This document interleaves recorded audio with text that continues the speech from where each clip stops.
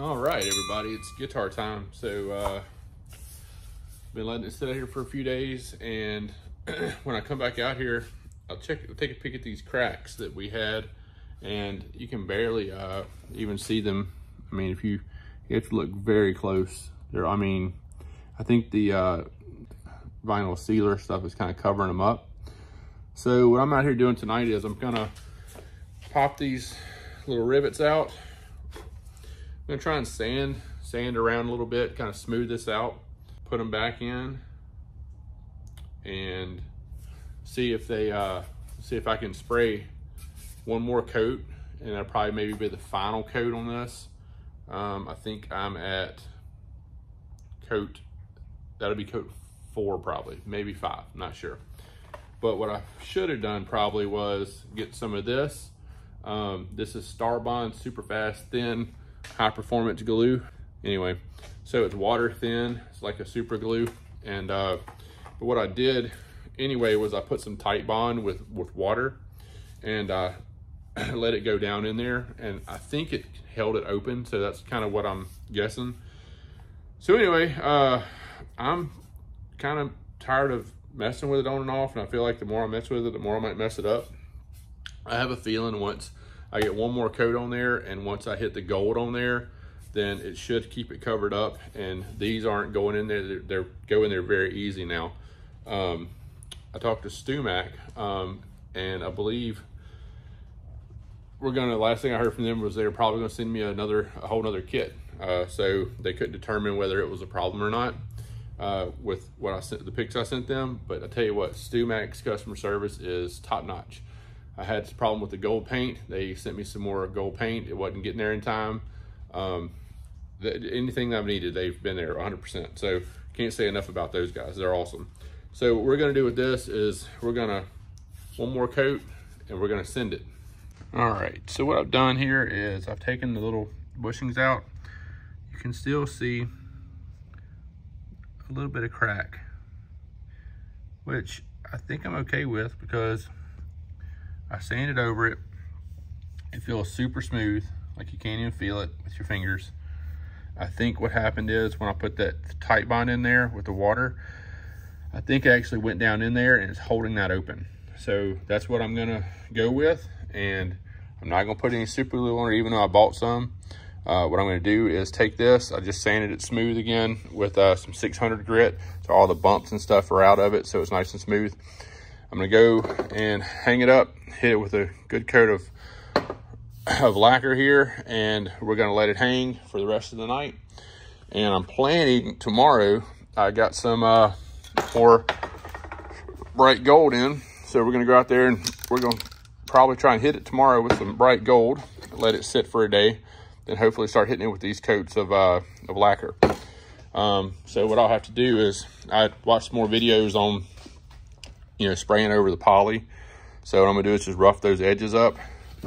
You know, maybe just kind of not get it all, but but for the most part, all around here. So it's gonna take some 800, scuff this up really good.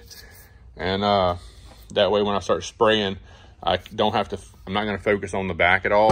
I'm just gonna try and, you know, if I get some over here, that's fine or whatever. And it's all gonna blend out when I start doing the final sands and all that stuff. That's my plan. So anyway, anyway, so I'm about to go hang it up, spray it, um, and let it sit. Call that my last coat. Unless tomorrow I can see these uh, cracks again, and then I'll hit it again. Uh, but I think this will be hopefully the last coat of the vinyl sealer. Um, and I say it's got three, maybe four coats. I can't remember at this point, but I hit it, I sand it down. And so it's, I mean, it's not super thick coat. So it's nice and thin. But I mean, it's getting really, it's getting really smooth. So it's gonna have a, hopefully a great finish when I get ready to do the gold. And I even had an opportunity to go back and try and fix some of this that I didn't like on the first paint job. And I had some imperfections right here that I didn't like. So anyway, we're doing it all over from scratch. So trying to just get her done. So anyway, hang with me. We'll go take a peek at it tomorrow and hopefully we can start getting some uh, gold back on it. Okay, so what I did was I uh, went ahead and used some of the super glue, pop those things in there, spread apart. I could see them visibly. I said, you know what? There's last ditch effort. Just say I did it. I just went down the line with the super glue. So what I'm gonna do next is let this dry. I'm gonna take a razor blade and try and just scrape off the excess and then kind of sand it back down. And it's about 65% relative humidity and 70 degrees in the paint booth. I went and bought a, a hygrometer or whatever you call it to measure humidity in here. So in the paint booth, it's about 70 so out here, but in there it's a little less. So I'm gonna uh, get that thing right. Then we're gonna hang this up. I'm gonna go get this warmed up. And man, we're going for it. So let's see what happens. All right, we got the, uh, probably the last coat. Excuse my voice, but I got a mask on, so, uh, respirator. So I think that's gonna be the last coat. I can't visibly see any cracks, so might have got them sealed up. Let's see. That's gonna be fine. There's a little bit of a something right there. I'm just nitpicking. So whatever. So I think we're gonna paint it gold. I think that's it. I'll sand this off, just make it smooth, give it a nice smooth surface. And then uh, we'll paint it gold. Hopefully tomorrow. I'm gonna go check the weather. But man, that vinyl sealer dries fast. It's already starting to dry. So anyway, we'll sand her down tomorrow, get her smooth, and get it ready for hopefully get some gold paint tomorrow. All right, guys. Um, I decided I'm gonna try and get this done today. So we have 66% relative humidity, which I think that's not too bad. I think it's borderline right where you probably shouldn't spray. It's probably over 70. Um, and then 70 degrees where I'm standing. So uh, we're gonna give it a shot. So if it looks like it's gonna start acting crazy, we'll stop and uh, and reassess. But so from what I've done now is I put the sand, I put the, uh, excuse me, I put the uh, super glue in the cracks again, sanded it black, back nice and flush, hit it with 400 grit all the way on the top, hit it with a tack cloth, got it hanging. I've hit my, my StewMac here with a hair dryer. Um, there you go. Yep. So I hit it with a hair dryer like I did the last time I did this. I warmed it up. So we're gonna spray it a few times. Now this is the nastiest part of this. Uh, this stuff sprays. When it sprays, it's got little glittery golds all over the place. So what we're gonna do, put this good tack cloth in my pocket so don't get crap all over it. Um, and we'll start spraying and I'll video it at a risk of my phone looking like it's been at a strip club. So, because it's probably gonna get some gold speckles all over it. So first coat's light, second coat's kind of light to moderate. I don't know, whatever. I'm, this stuff I found you just kind of got to do what you got to do with it. Like you got to kind of just work with it. So I'm about to put my respirator on and then get busy. Check out here. All right, I got it all shaken up. All right, nervous as a cat like always. Let's get it. All right, you can see all the little glittery flying out. Let's see. I'm trying to light.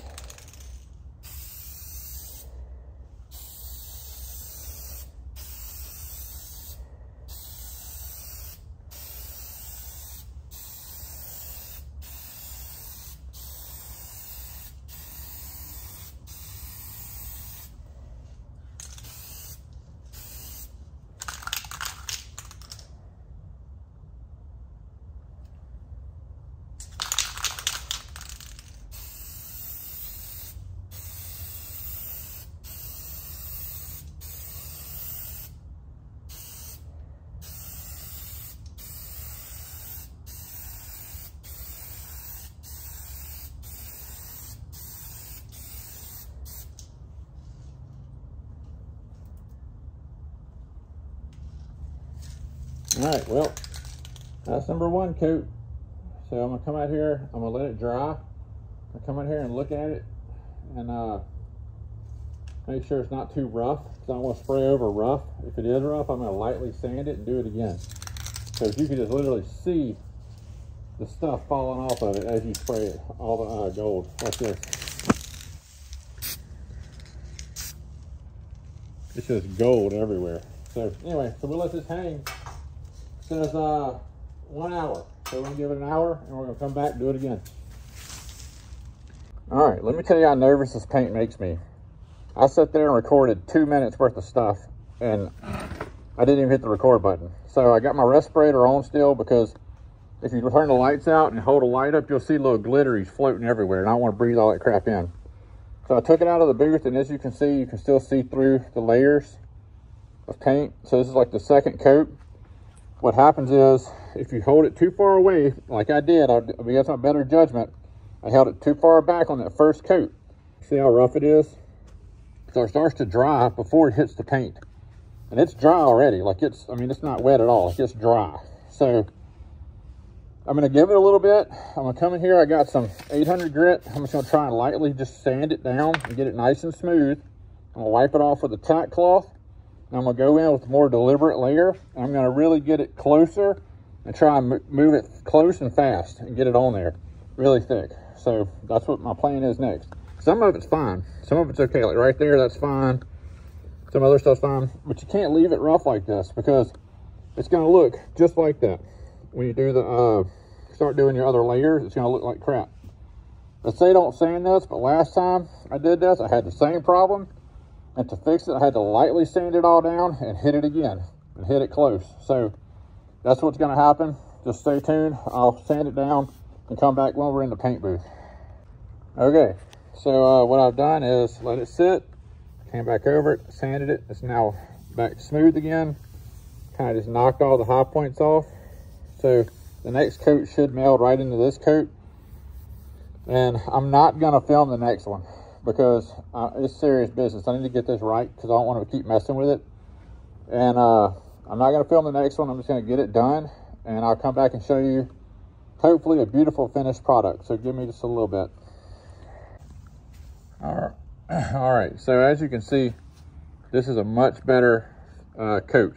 So the first one was super light. The second one was more a little bit more deliberate, and the third one was really close to it and more wet. I can still see the, the uh, wood through the paint. So we're gonna give this an hour, and then we're gonna come back, and we're gonna hit it again. Uh, what I'm gonna do is a couple little spots. What I'm gonna do is hit some, get some 15, maybe 2000, and barely hit like these little spots, because they'll show through when you go to clear coat. So a couple little spots here and there, I'm just gonna hit those lightly and we're gonna give it another coat and hopefully get rid of these lines that you can see through there. They're barely showing up on camera, but anyway, so that's what we're gonna do next. All right, well, everything that could go wrong goes wrong. So came out here to spray. It was 60 to 65 uh, percent humidity and um, I, it kept creeping up. Almost got to it was 65, then 67, and it hit the 70. I was like, all right, that's fine. First coat looked good, second coat looked good. Well, got to the third coat, and that's what that is. That's that's got to be blushing. So that's sand marks. Don't worry about that. But see that right there? All that. I'm pretty sure that's blushing. And now that I think about it, all those little marks that I had at the beginning were could have possibly been blushing as well. So um, I think that's when I when I sprayed over it, it covered all that up. So I guess 70% is too high. So what I did was I ordered some that no uh, no blush with uh, retardant or whatever it is, the Mohawk stuff.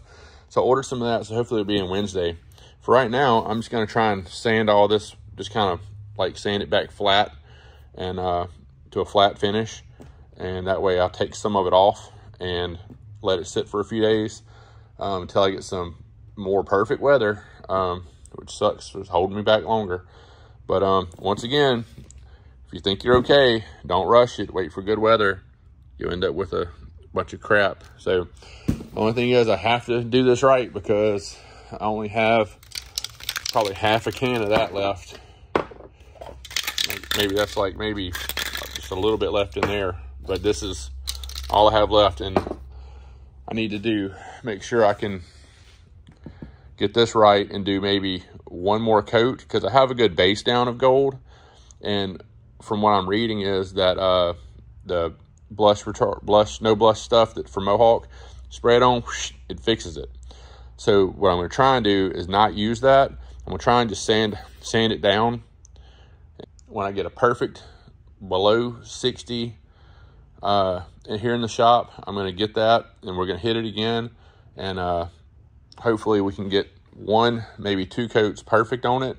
And then I can wait uh, till I get more perfect weather to do the clear coats. So I'm um, gonna try not to rush this. I was trying to rush it, get through so I can get some coats of clear on it. Um, let it start doing its thing. My dad and mom are coming down for a couple weeks. Uh, in about a week, they're going to come down for a couple weeks. So trying to get all that wrapped up. So hopefully I can let it dry. So by the end of the time my dad's here, we can start trying to put it all back together. Um, so there you go, Russian stuff again, and look what's happened. So, oh, and uh, so don't grab the business end of a heat gun; it'll get you. Uh, so it bubbled up. It's a big bubble. So anyway, back at it. All right, folks. So we uh, hit it with some 600 and flattened it all down. I don't see all those marks anymore, so I hope that was just in that third coat.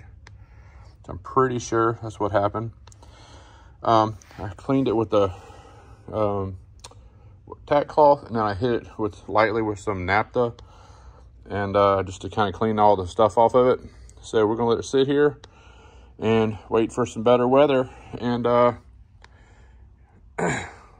we'll spray it again. So that's all we're doing. Just waiting around. It's a waiting game now. But um, you know, I bet that if you cleared right over this, I bet it would look, I bet it would look, uh, I bet it would look nice. I've heard, you know, people say, oh, you can't clear over metallic, but say there's naphtha, say, I mean, it makes it look really nice. So anyway, we're not to clear over it though. We're to leave it alone and, uh, we're to hit it again whenever we get good weather. But I think it's to be fine. You know, it's just all about the weather, all about humidity, folks. Stay tuned. She's to look nice though, boy. She'll be the flattest, smoothest thing you've ever seen.